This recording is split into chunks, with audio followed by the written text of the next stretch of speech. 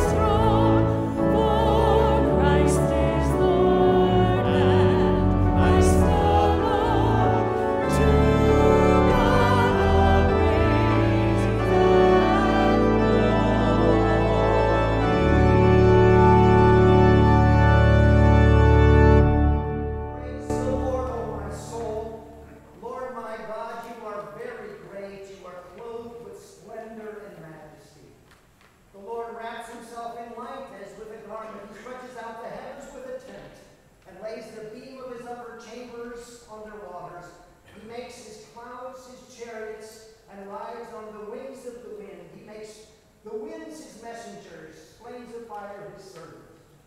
Sing. I will sing to the Lord all my life.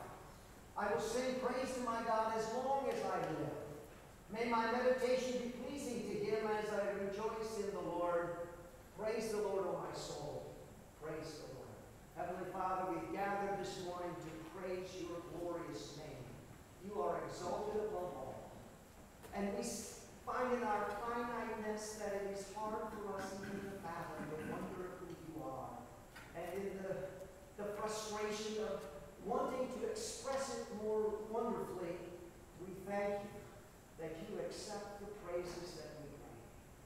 Lord, we worship you today because you are a God who is worthy of our worship.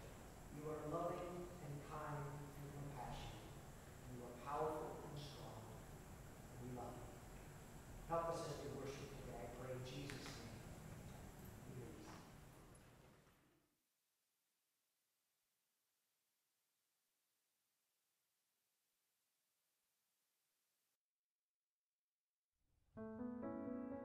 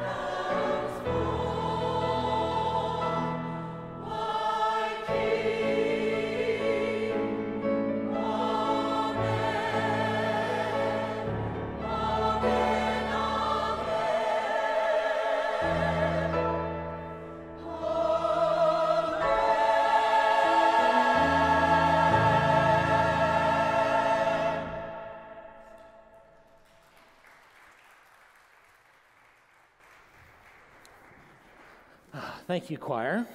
Uh, little birdie told me earlier that um, it's not too late to join the choir for our Christmas concerts. And so, if you would love to be a part of this, uh, make sure you talk to Pastor Steve uh, later today and be a part of that.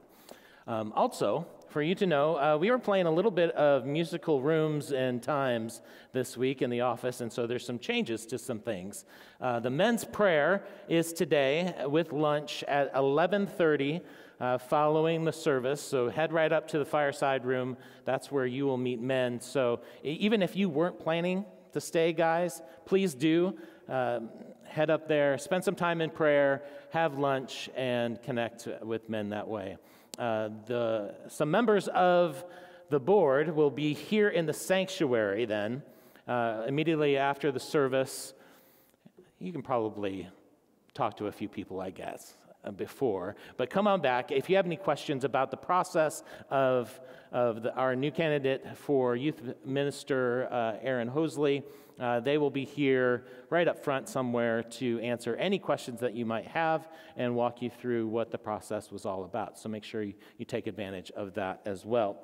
And then, Owls are meeting uh, this week on the 21st at noon uh, for lunch and, and their traditional program. Uh, it's been well over a year since they've been able to gather together. So if you're older, wiser, and a loving saint, um, come on out and be a part of that gathering um, together. And finally, you'll notice over here on the organ, uh, there is a rose and uh, Deb Duvall uh, is a, a, new grandmother. Uh, a granddaughter, uh, Isabel Pearl Williams, was born, and so we're celebrating with her today for the addition to their family.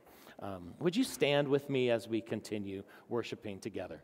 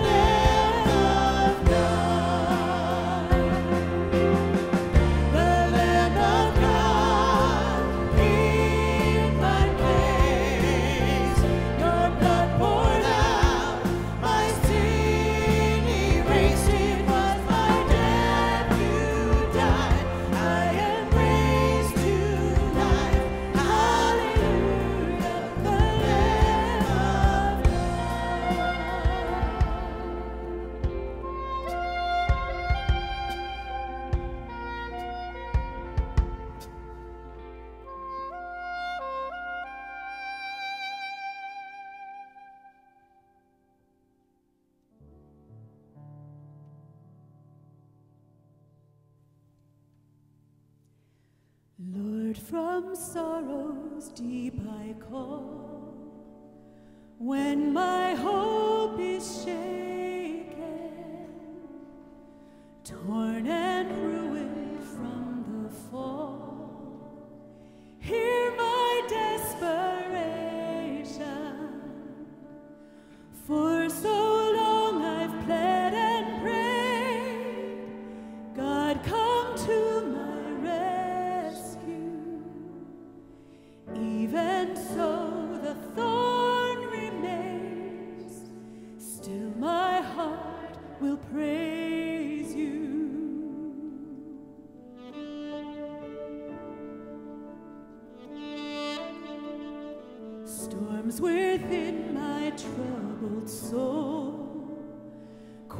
questions without answers. On my faith, these billows roll.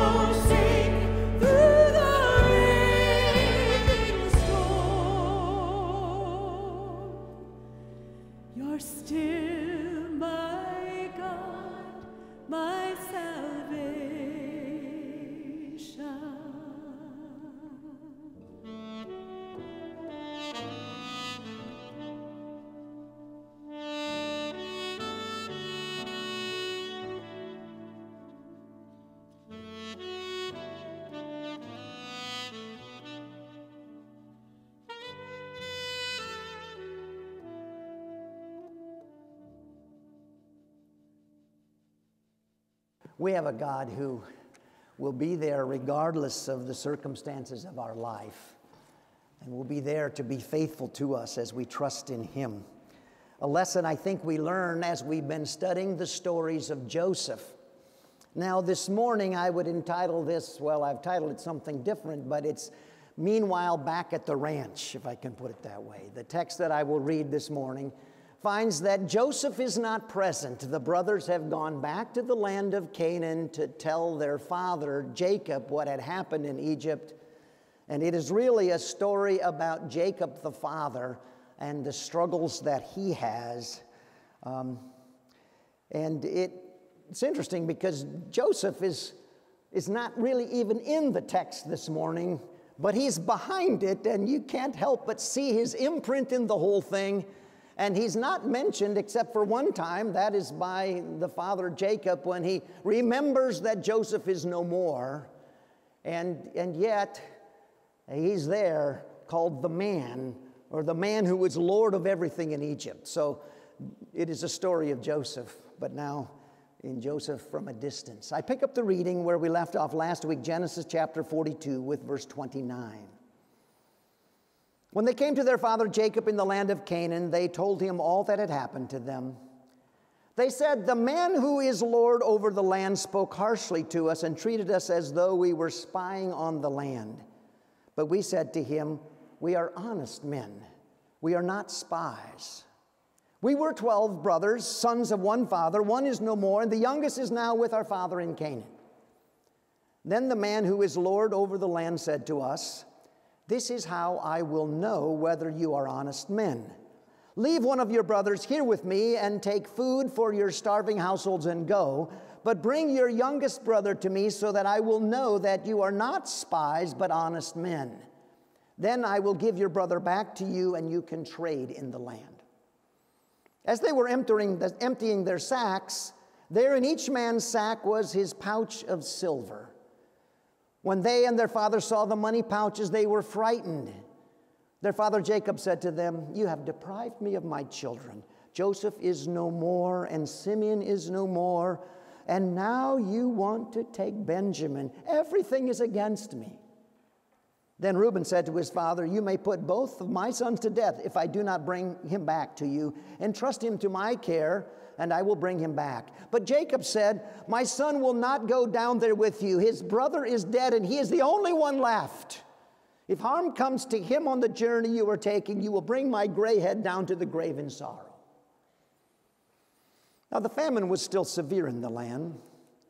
So when they had eaten all the grain they had brought from Egypt, their father said to them, Go back and buy us a little more food. But Judah said to him, The man warned us solemnly, You will not see my face again unless your brother is with you. If you will send our brother along with us, we will go down and buy food for you. But if you will not send him, we will not go down, because the man said to us, You will not see my face again unless your brother is with you. Israel asked, Why did you bring this trouble on me by telling the man you had another brother. They replied, The man questioned us closely about ourselves and our family. Is your father still living? He asked us. Do you have another brother? We simply answered his questions.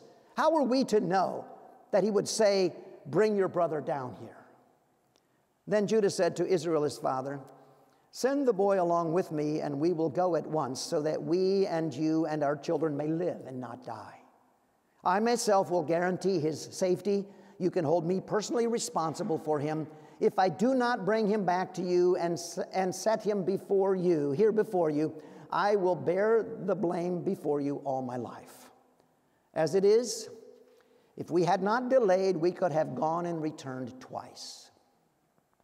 Then their father Israel said to them, If it must be, then do this. Put some of the best products of the land in your bags and take them down to the man as a gift a little balm and a little honey, some spices and myrrh, some pistachio nuts and almonds. Take double the amount of silver with you, for you must return the silver that was put back into the mouths of your sacks. Perhaps it was a mistake. Take your brother also and go back to the man at once.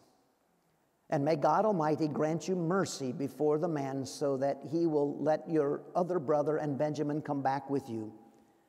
As for me, if I am bereaved, I am bereaved. Would you pray with me? Lord, there are times when, as we read your word, we see ourselves there. I pray that your word would be a mirror for us today, that we would, we would know where we are like Jacob and where we would, we would turn to you in faith and trust, regardless of the circumstances of our lives. I pray in Jesus' name, amen. Gloom, despair, and agony on me. Deep, dark depression, excessive misery.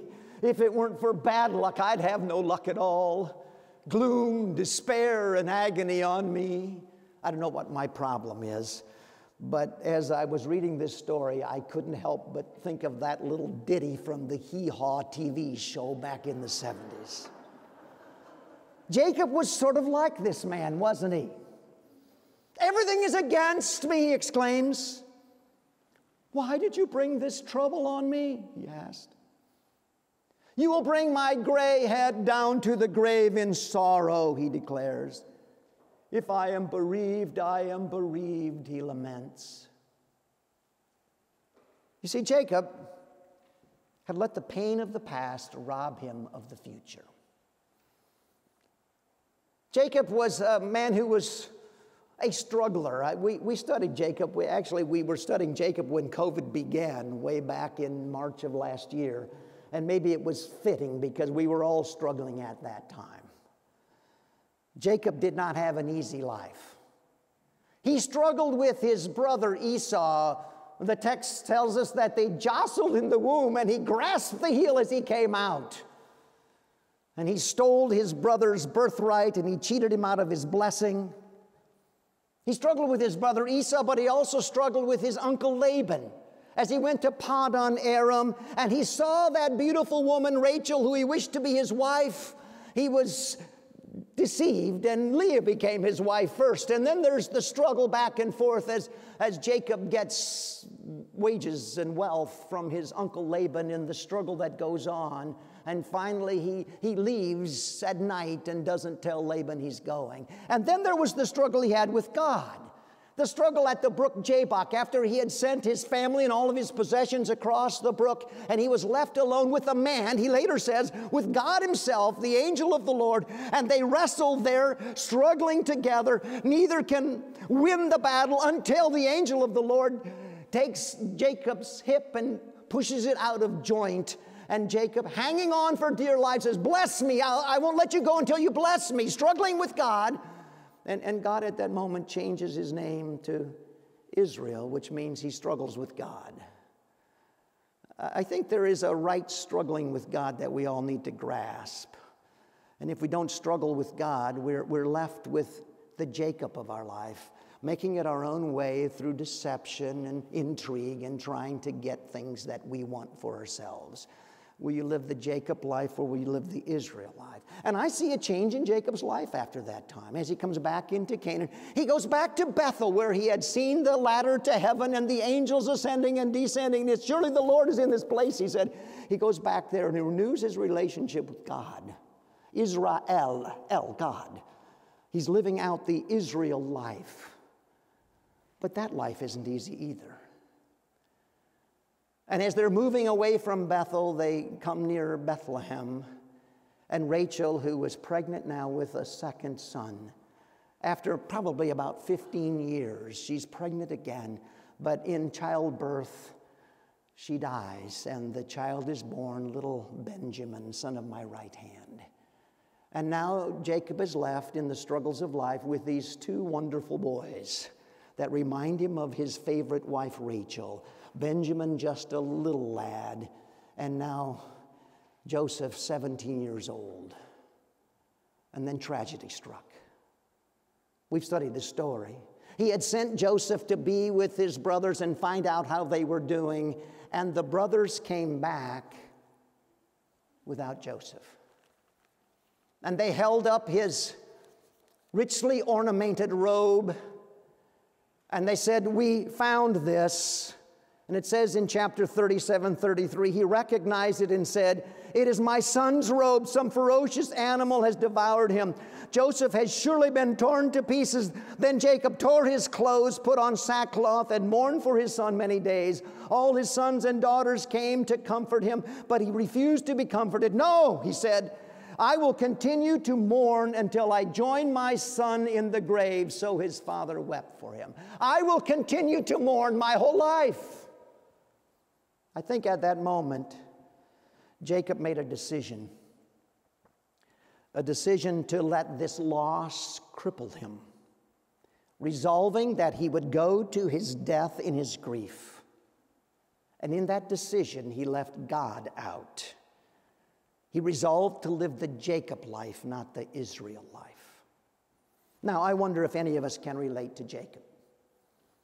Life is hard, isn't it? Someone put it this way life is hard, then you die. The struggle is there. I don't know what your struggle is, but I'm guessing that, that you can identify maybe some time of loss in your life. Maybe a loss of a loved one like, like Jacob's loss. So profound, I don't make light of it at all. Maybe there are other sorts of loss, maybe the loss of health or, or job or relationship or marriage. And, and there, there's this, this sense of loss. And I'm not talking today about the normal, healthy grieving process that comes from loss. I, think that we all live there in the struggles of life. But what I'm referring to today is what I will call a settled decision to leave God out of a certain place in our life. A settled decision that says, in this place, I will do it myself. Sometimes it's a conscious decision. I've had conversations with people who, who describe for me some time in the past where God failed them. Something happened, a loss that was there, and they're saying, I'm not going to trust God anymore. I'm going to live my life without God. And it's a big, big thing, and it's destroying their life if they would only see it. But for most of it, it's more of an unconscious thing. We don't even really know. But there's been a place in our life where we say, I'm, I'm not going to let God have that part, that particular place. When that happens, I think some symptoms start to show up. I think we see them in Jacob's life. I think we see them in our lives when that takes place. I'd like to look at three of them this morning. The first is we are plagued by negative thinking. When we decide to leave God out of a certain place in our life, we're plagued by negative thinking. Whatever our circumstances are, our first reaction is to think the worst. We have kind of the Eeyore complex. How bad is it?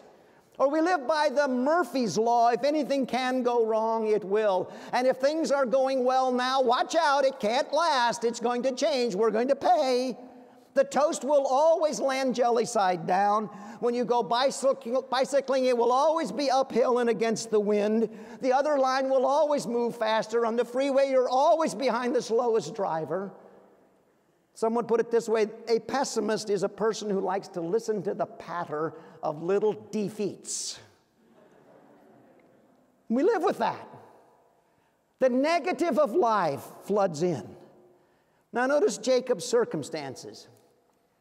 His nine sons came back, nine, not ten. It's happening again. But this time, they told him all that had happened. This time, they tell him the honest truth. I can just hear them saying, Dad, we were in a dangerous situation. That man who is, who is in, in charge of all of Egypt, he, he didn't believe our story. We, we told him our story, and, and, and he suggested that we were spies. We could have been executed. And as we told our story, he, he said, okay, if you have another brother back home, then here's the test.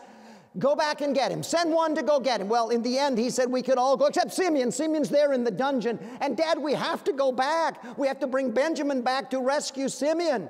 And not only that, as we opened our sacks, we all found our silver there. We are in real trouble. Now we've taken the grain and we haven't paid for them.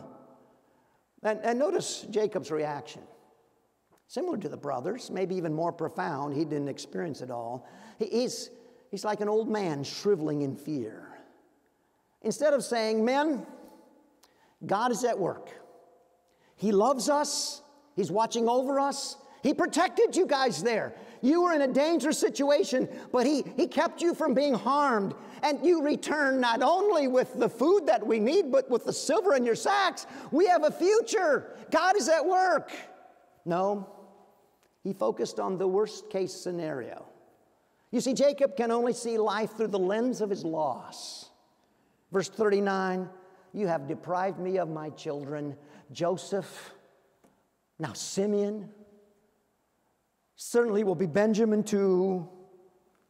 And then his negative statement everything is against me. You know, that statement was not true.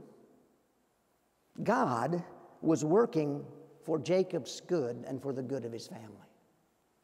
And when we say that statement, everything is against me, it is not true for us either. Paul writes to the Romans, And we know that in all things, God works for the good of those who love Him, who've been called according to His purpose. He will go on and say, If God is for us, who can be against us? We have a God who is working the good for us. We can trust Him. But not Jacob, not now. You see, the problem with negative thinking is that it cannot perceive the grace of God. There, there must be some mistake, they thought, as, as the silver was in their sacks. And yet it was a deliberate work, I think, of God and of Joseph to, to put the silver in their sacks, that, that testimony of grace to them, but they could not see it. We're going to pay for this, was their attitude. You see, God regularly extends His gifts of grace to us. You're experiencing them today, even the fact that you're here. God gives His grace through His people, through circumstances, through resources. Sometimes people say to me, Well, I'm not sure I can believe because if I lived some other place, I, I wouldn't even know the gospel. But that's my point. But you don't. You live here, you've heard the gospel, you've uh, understood God's grace, and God's grace becomes a huge part of our life if we will only see it. But when we decide to leave God out of a part of our life, it, it, just leaves an, an emptiness there. Brian Craig Larson illustrates it this way. He said he had a, a, one of those coffee table books. It was a, a book entitled America's Spectacular National Parks. And he opened it up and set it on his coffee table. There's a beautiful picture of the Grand Teton Mountains, a display of deep blue and rugged gray mountain caps and and a calm lake in the foreground, just the majesty of those wonderful mountains. And as he looked at that photo one day, he decided to turn the page, and he realized that he had missed something. Because when you turned the page, that particular page folded out to be twice the size, twice the panorama, even the greater grandeur of the Grand Teton National Park mountains. And the wonder of God's grace that expands for us if we will only see it, but we're trapped. We're plagued by negative thinking. When you decide to leave God out of a particular point of your life, that's one of the symptoms. But secondly, when you decide to leave God out of a place in your life, we are limited by horizontal thinking. Joseph's test was bring your other brother back, bring, bring Benjamin. And Benjamin now becomes the, the key to this whole text because this is God's test as well. It is just what this family needs to have a future. You see, the brothers were bound by guilt. They needed to repent. And the test would be would they do right by Benjamin? Would they treat him differently than they had treated Joseph? It was a symptom of their repentance. But Jacob was bound by grief. He needed to release Benjamin as well. He needed to say, God, I trust you with Benjamin. I will give him up so that I might trust you. And, and, often in our lives, there are these places where we're hanging on to something we value so much. And God says, if you'll release it to me, release that person, that thing to me, you'll have a more wonderful future than you can imagine. And, and a future is available to Jacob. He must send Benjamin away, hang on to God, but it's just the thing he could not do because he was limited by his horizontal thinking. Notice verse 38 he says, My son will not go down there with you. You see him distrusting his brothers, uh, the, the, other sons, Joseph's brothers. Probably a good reason to distrust them, right? from how they had responded before. But he doesn't see God at all. He doesn't say, My son will go there with God. No, he's the only one left. He's focusing on Benjamin, not the nine other brothers. You will bring my gray head down to the grave in sorrow, he says. But that was what he had already decided back in chapter 37. I'm going to live in my sorrow the rest of my life. It was a habitual response that left God out of the picture. Are, are we there in our own lives from time to time? Instead of saying, boys, now is the time to trust the sovereign promises of God. And God had promised my grandfather that we would, as a family, be in Egypt, but He would take us out of there, Genesis chapter 15. And God will provide. Benjamin, let's get down on our knees and pray for your safety and then watch God at work. There is a reason why God wants you to go to Egypt, Benjamin. I don't know what it is, but we will trust God for the answer. We will step forward and serve Him. It didn't happen that way. There's no mention of God. It's simply a concept no, no way, no way. Benjamin is not going. And Jacob is resolved to risk no more, certainly not his beloved son Benjamin. And there's the stalemate, a stalemate of sorrow and famine and delay and denial. You see, there is no future without risk, the risk that will take faith to respond to. And our perspective is severely limited by our horizontal thinking. It's true for us as well. The great Swiss psychologist Carl Jung once said to a patient, You are suffering from a loss of faith in God. And the patient responded, Well, well Dr. Jung, do you believe that the doctrine of God is true? And Dr. Jung replied, That is no business of mine. I am a doctor, not a priest. I can only tell you that if you recover your faith, you will get well. If you do not, you will not.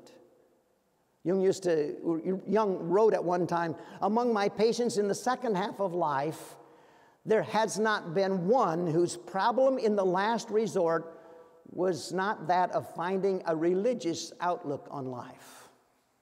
That vertical thinking. Is God there for us or not? And, and Dr. Jung, he, he doesn't help us with that any more than that. Corrie ten Boom does when she says, Look around and be distressed, look inside and be depressed, look at Jesus and be at rest. That's what Jacob needed to do. It's what we need to do. But if we decide to leave God out of a certain part of our life, that's the kind of thinking we get. But notice, thirdly, when we decide to leave God out of a particular part of our life, we are focused on selfish thinking. Jacob is stalemated here by his negative horizontal thinking, but he's pushed by circumstances. And when we get to chapter 43, verse 1, now the famine was still severe in the land. That famine continued to be the grace of God. Sometimes the hard things in life are God's grace so that we come to the place where Jacob was and begin to budge just a little bit. And he says, Go and buy us a little more food. And I would just pause and say for a moment uh, that it's interesting in the text, isn't it? That, that Simeon's discomfort in the dungeon in Egypt does not motivate Jacob, but his own discomfort when he knows he's going to be hungry motivates him a whole lot. It, it's kind of like Jacob. The world revolves around Jacob. And once again, the condition is spelled out for him. Now, this time, Judah takes the lead when he says, Let's go down there. And he says, Wait, wait, Dad, we can't. We can't go if Benjamin doesn't go with us. The man there in Egypt, was Lord of all, was very clear. We can't be, come before his face if Benjamin is not with us. And Jacob's response is to blame. Why did you bring this trouble on me? Notice, on me? This is about me. Do you understand? This is about me. If you hadn't told him we had another son, this wouldn't be coming on me. Why didn't you tell him a lie? Why did you tell him? Why did you tell our family secrets? We don't tell family secrets, remember? And the brother's response, and I see them all chiming in wait, it's not about you, Dad. The Lord of Egypt specifically asked, and we simply answered his questions. This is no conspiracy against you. It's true for us too, isn't it? Life doesn't work out sometimes, but almost always when we say that, what we mean is life is not working out for me. It's not what I want, what I think I need. Craig Barnes, in a, in a sermon, talks about uh, a couple that he knew. They'd been dating for a long time. And, and the, the woman in the relationship was, was beginning to wonder whether the, the man would ever ask her to marry him. And so uh, Craig Barnes had a conversation with the man, and he just kind of asked him what was going on. And, and he said he didn't think he could ask her to marry him because he said, I, I don't think she makes me happy. So mm, he, he says, I, I asked him why not, which was a mistake, he says. He went on and on to explain the reasons why she didn't make him happy. Finally, I interrupted and asked, What kind of wife would make you happy? The more he described what he was looking for in a wife, the more convinced I was that he really didn't need a wife, he needed a goldfish. the pretty kind with the long tail that floats around, or maybe a golden retriever, but even a dog makes demands on you emotionally. But a goldfish doesn't. It just sits there and looks pretty and doesn't ask you for to communicate, ask to communicate. It doesn't ask you how your day was or expect you to listen to how its day was. The last thing the man needed was a wife because his whole understanding of why the, why the world existed was to meet his needs. It's about me. I suggest to you that a wife will not meet your needs, a husband will not meet your needs, neither will friends, neither will the church, not even a golden retriever. That doesn't mean that your needs are not important and, and, and you, you long to have them met. But you see, we need to come to the place where we recognize that only God can meet our needs. And this isn't about me and my needs. It is about God and His glory, and God at work, and God using me to touch the lives of others. This is not about me. And when selfish thinking comes in, we're in trouble. Judas takes the lead, Judah takes the leadership at this point. He, he says, Trust me with the boy and I will be responsible. I think Judas' example is at least a little bit this is not about me. This is about life and death. Let's go. Life and death hangs on this. It's about family, it's about our future, it's about hope, it's about the promises of God. This is not about me. It's not about me, Joseph. It's not about you, Jacob. It's about a God who has a greater work to do here. But poor Jacob, he stuck with his decision to leave God out of this particular area of his life, the area of of his sons, his favorite sons, and he's filled with the negative, horizontal, selfish thinking. But here's what I want you to see from this text God is still at work. The little clues come in verses 6 and 8 and 11 when the name Israel is used, not Jacob. Maybe not a big thing, but there it is. God has begun to work with Israel, with the one who struggles with God. And finally, in verse 11, it seems as if Jacob is ready for a change. He's ready to risk for a new future, even though it's reluctantly, if it must be, he says. You know, I wish he could have said, Let's just trust God and go. Take Benjamin, but he doesn't. It's the same procedure as before, the, the same manipulation, the, the same sending the gifts ahead. The old pattern continues. It's the old Jacob. Take the gifts, the pistachio nuts, and all of the rest. Take the silver back, double it so we know that, that we're, we're paying for it, paying our way, because we can't trust grace. We have to do this on our own. It's the same Jacob manipulating the future into existence. But finally, he sort of gets there in verses 13 and 14. You see just a little bit a surrender of self when he says, Take your brother, this one I love so much, and go. It's not about me, something bigger here.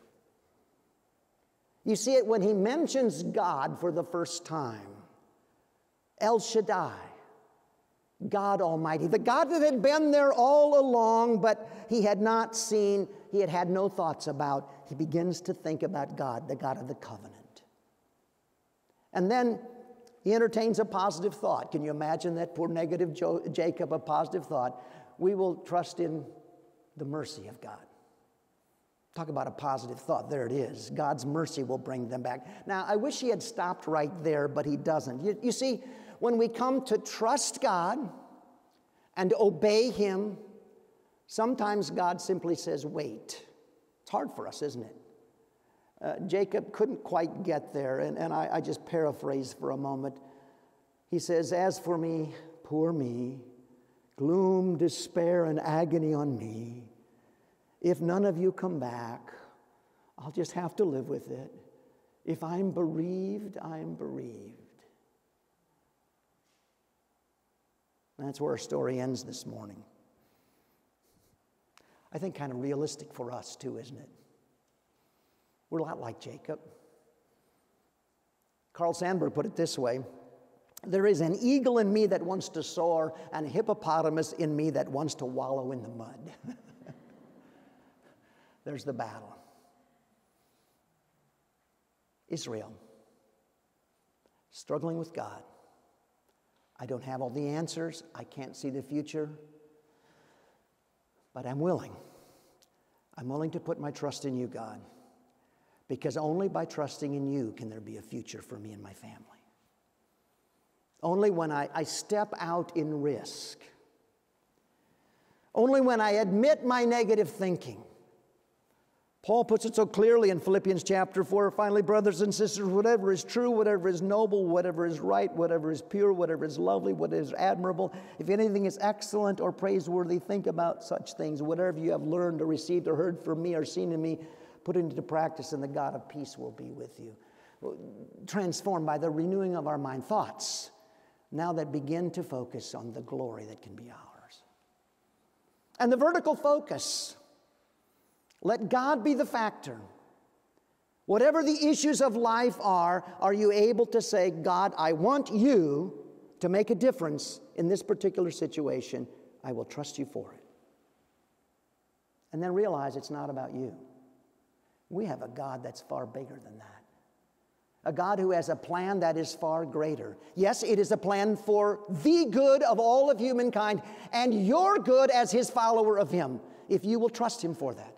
And it may not be easy, it may be a struggle, there may be loss, but you don't need to be trapped by it. You can come to God by faith. And when you give your life over to Him, you can really live. Live for His glory in light of your loss. Would you pray with me? Lord, the stories of Jacob challenge us because they are so true to our lives as well. You, you know the areas of loss that we may be experiencing, the, the areas where we've said, Lord, I, I can't trust you in that area. I pray that today, that your people gathered in this place, in your presence, would be mindful of your grace and would be able to trust you and invite you to that very area of life and live there in your presence. I pray in Jesus' name. Amen. We have a Savior who cares, who has um, lived on this earth and faced some of the many sorrows and griefs that we ourselves bear.